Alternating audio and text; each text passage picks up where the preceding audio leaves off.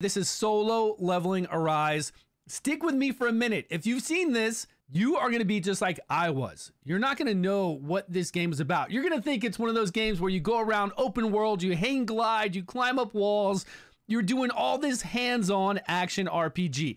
It's not like that at all. Think about a turn based gacha game or a gacha game to where you go into a dungeon, you fight a boss for gear, you fight a boss for material to craft things, you go fight another boss for your guild boss to get those rewards, and you're fighting all these bosses, and you go into that instance and you basically just hit auto.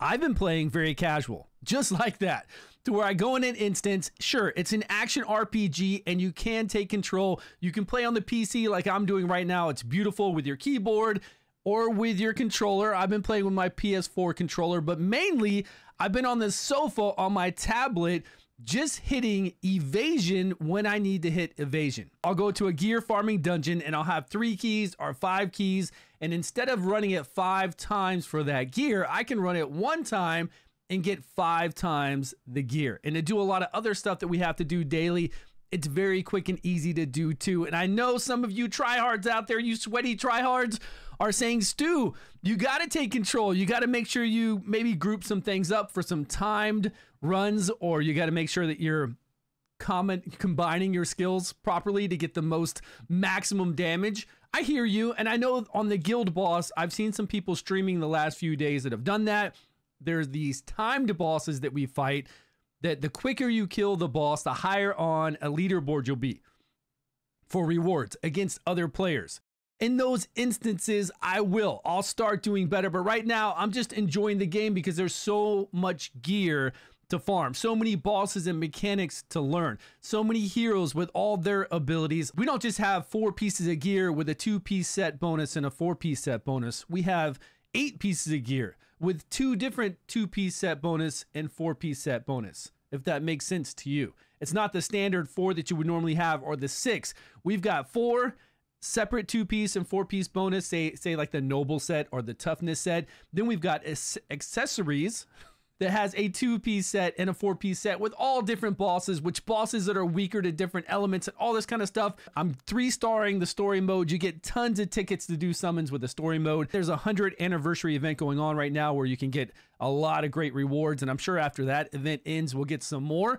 But this is where why I didn't play it a hundred days ago. I had no idea it was like this. I thought it was going to be more of a I've got to play all day long and have, you know, you know, maximum concentration on this game and I can't do other stuff with it. I want something to where I can kind of just casually play it, put it in my pocket at times, sure, when I'm running some dungeons. And then when I need to be serious about it, I can be serious about it, but it's quick and fast. Jin Woo is the main character in solo leveling Arise. So we do certain content with him.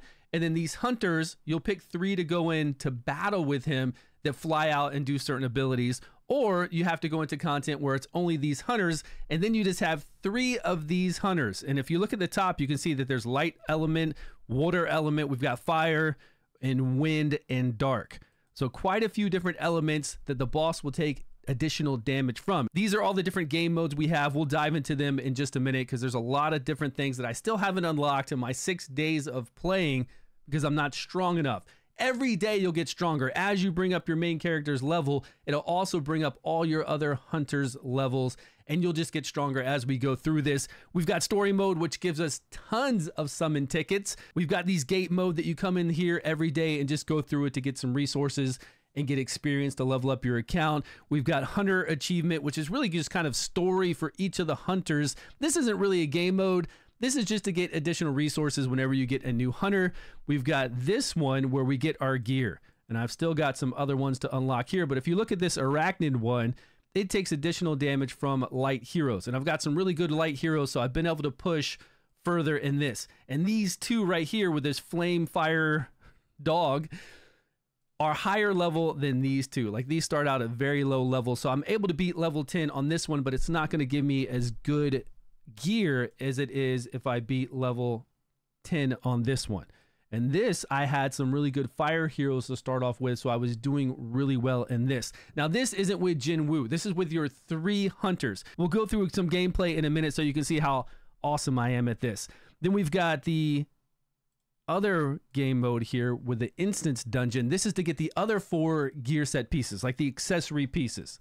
And I've only unlocked one of these so far, so I can only get these bracelets and these necklaces. Once I do chapter 12, which shouldn't be too far away, I'll be able to unlock those as well. And we've got the time battle. This is the battle where I said that you probably might want to take your time on this one. You will. You'll eventually get into the game like I am, and you'll want to take your time and really battle here to do well because you're competing against other players for rewards, for a leaderboard to do to kill these bosses as quickly as you can. So you're going to then fine tune your weapons, your team combinations, all the gear you have to make sure that it's leveled up because my gear is nowhere near leveled up. And then you've got Battlefield of Trials, which it's like a tower mode. One side is for Jin Woo and his three hunters, and then the other side is just for the three hunters. Of course, with the summons, you got a pity system. So after a while, you're going to get a guaranteed SSR. And these let you select a weapon and hero to have a higher chance to get these. And I've gotten quite a few. I've gotten her two times, her two times, which you can see they say popular. We'll talk about a tier list and all that in another video because there's a really good website for that. This weapon's supposed to be amazing for the guild boss. It gives buffs and debuffs or something. And then this weapon is a universal weapon that's been really good, this sword. And I did get lucky and get that sword. I feel like my account's been pretty lucky with what I've summoned so far. And this guy's supposed to be really good too. And I only did 20 summons on him with the free tickets I got, and we got him. So free to play. I've not spent any money on this yet. Now, I'm not going to swear I'm going to be free to play, but I am going to start a guild. Join my Discord down below.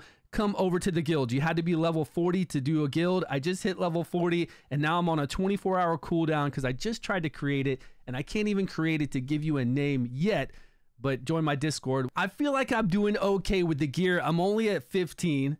Every time you level up a piece of gear, you do increase the enhance rate. So 20% chance for me to pass here and enhance it to the next level. But every time I fail, it will bring it up. Well, I passed there. So it'll bring it up to 21%, 22%, 23%. I like that. And there is a gold cost for taking gear off your heroes and putting it on another hero. But during the weekend, or at least during this last weekend, it was free. I don't know if they do that every weekend or one weekend a month, but either way, it's really cool. We did that back in the day with another game, and it worked out really well for you to be able to try things out during that free weekend to change around gear and to make some really cool teams. So I'm leveling up gear. I'm getting this. They don't have the same stats. Like these helmets have different stats. We've got HP, HP percentage, defense, defense percentage, attack, critical damage on some of them. We can actually filter through here and see what all the different ones are if we look at the main stats. And for these, these are the additional, these are the main stats that a helmet can have. Now, I really like this about the heroes. The heroes aren't all about just having additional damage based off of attack. They are, like with this guy, this old dude I just got, which is really seems really strong. He is doing damage based off of defense. Defense here, user's defense. You can see all his skills doing damage based off of defense. This lady does damage based off of attack. This one based off of attack as well. This one based off of max HP. And then this guy does healing based off of max HP. A lot of cool stuff, different wardrobes. If you want to turn these girls into some sweet bikinis that I don't have right now, I think I've seen people do that. I don't know if it's in gameplay bikini or maybe just like on your main screen here when you're running around, you can have your person in a bikini, but I have seen them. There are a lot of different costumes in here, which I like. Then we've got Jin Woo, where he's got even more things to equip. We've got runes that we craft. We of course go farm the fragments to craft this, but we far- we craft these runes and it enhances our abilities. So there's certain abilities we're going to use with this guy depending on what situation we're fighting. And we'll do videos on that. We will definitely do videos because there's a lot. Like in the beginning, like any game, you got to learn a lot of stuff. And that's the fun thing about it. Learning all the mechanics, learning all the abilities, all the heroes, all the combinations of things we can use. That's the greatest thing about it. You can see break here and the damage it does. And then the ultimate ability, there's two different ultimate abilities that I have right now. And then weapons that I'm equipped on him, two different weapons that I currently have equipped on Jin Woo. And we have Army of Shadows. So we're leveling up this. This unlocks as you play. This is a skill that you have while you're playing that you can put it on auto and it will just cast. And they call out this Shadow Army of Shadows. I can upgrade this soon. I'm at 77 to 100. So I don't know if I'm going to unlock this guy, Iron, a bear, or a blade because they just come out for a while and do some serious damage.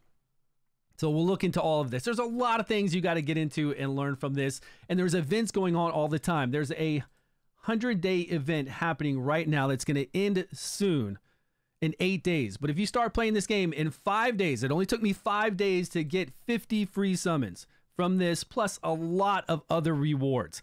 So jump in. Before we go, there's a new program for content creators and for viewers that want to support me or support any content creators that are out there. If you come over to this webpage, I'll leave a link to it down below. If you create content yourself from August 28th to September the 10th, you can be part of this participation here to get first place, second place, third place, and a participation point rewards.